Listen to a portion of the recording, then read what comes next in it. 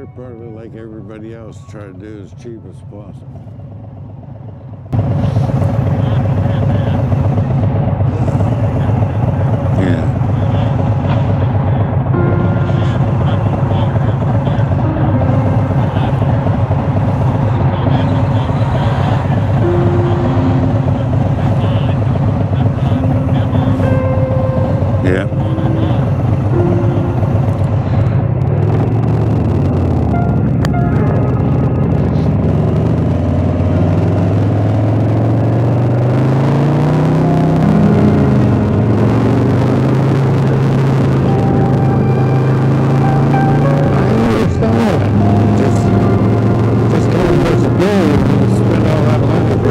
Америка